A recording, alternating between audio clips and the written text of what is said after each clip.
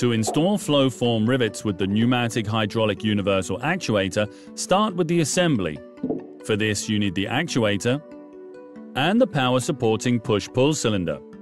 Use the stop button on the actuator to hold the push-pull cylinder in position to prevent it from retracting.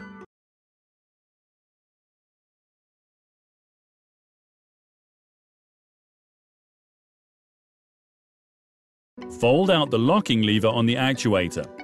Then swivel it as far as it will go, center the push-pull cylinder with quick coupling, and push it on using gentle pressure. Now turn the locking lever back and fold it in. The lever on the actuator can now also be returned to its original position. Install the connecting cable between the actuator and the push-pull cylinder. Now take the C bracket and push in the safety button on the locking mechanism. Open the locking lever clockwise while pressing the safety button. Now place the C bracket in the middle of the push-pull cylinder holder and push it all the way in. Close the locking lever counterclockwise. The safety button must have now clicked out audibly.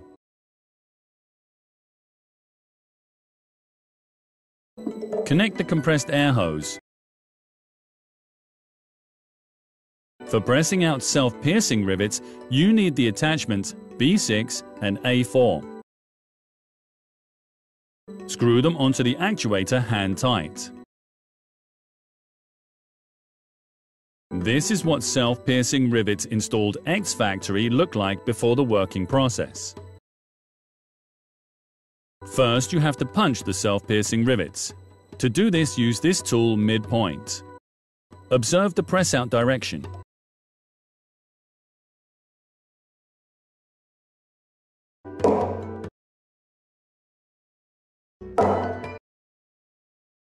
Afterwards, you can easily attach the material to the actuator for pressing.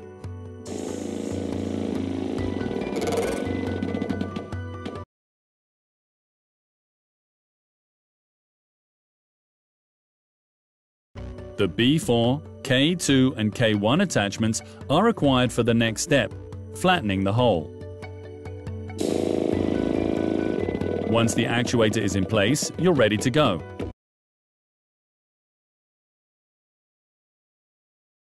The next step is to calibrate the rivet hole. For this you need the attachments B3 and B4. Prepare these.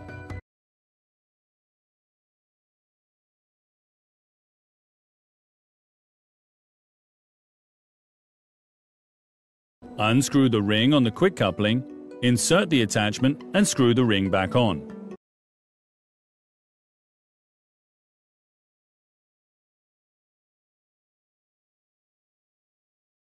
The material is calibrated cleanly.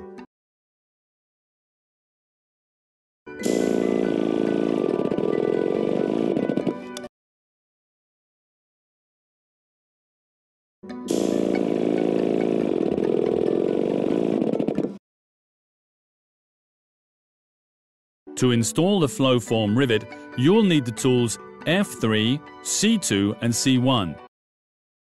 Important! Before pressing, set the speed on this button to maximum. The large red button must be adjusted individually depending on the rivet, in our case to level 4.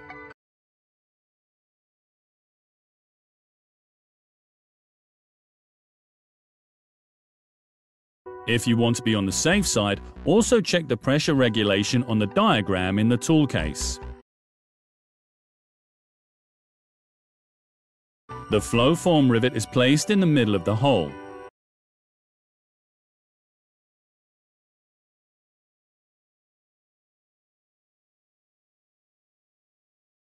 And then put on the tool.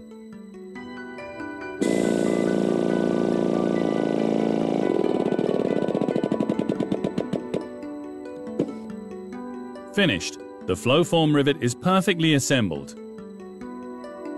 If you want to rivet harder material than steel, you'll need the tool B7 to calibrate the rivet hole. Before calibration, all that remains to be done is to attach this cutting ring.